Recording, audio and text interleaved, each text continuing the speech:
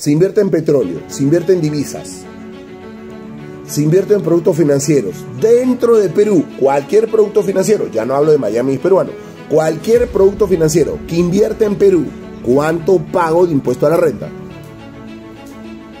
¿Cuánto?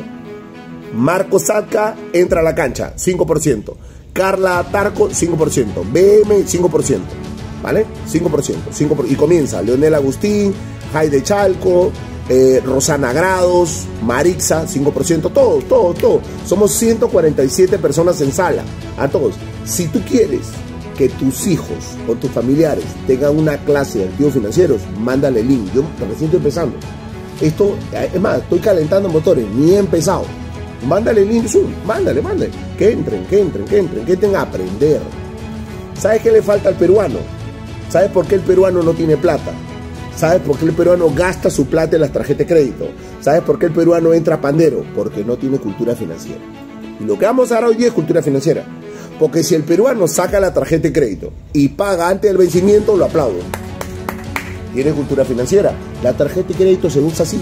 Se saca la plata y se paga antes del vencimiento. Porque si la dejas que te agarre el corte, ya no tienes inteligencia financiera. Lo que tienes es deficiencia financiera. ¿Estamos de acuerdo? Listo. Entonces, para todos queda claro. Gracias Joel Gutiérrez, gracias Gisela Dávila, gracias Carmen Alanoca, gracias Jimer Gómez.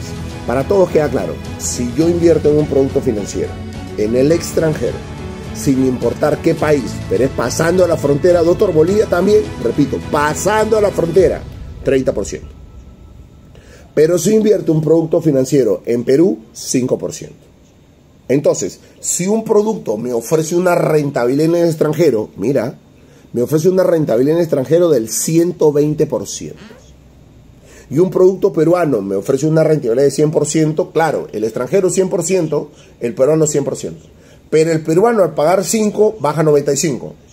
El extranjero 120%, al pagar 36, el 30% de 120 es 36.